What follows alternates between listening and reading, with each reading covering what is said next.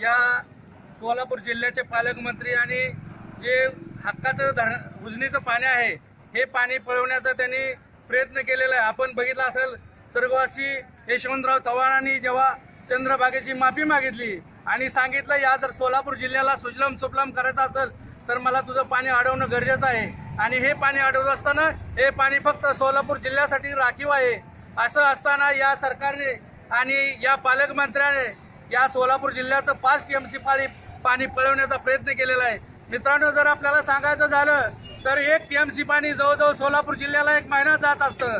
त्यासाठी जर पाच टीएमसी पाणी जर वेस्टेज म्हणून ही जर पळवणार असतील तर त्याचा या सोलापूर जिल्हा आणि या सोलापूर जिल्ह्यातली शिवसेना आणि शेतकरी या सरकारला कधीच माफ करणार नाही.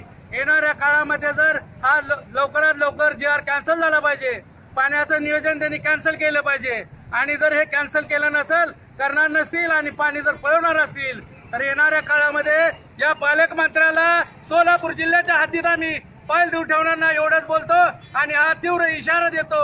यापुढे त्यांनी कधीच असा प्रयत्न करू नये. एवढं सांगतो वेळ आली तर या पाण्यासाठी सोलापूरच्या पाण्यासाठी आम्ही रस्त्यावर उतरू आणि जीवाचा त्याग सुद्धा करू.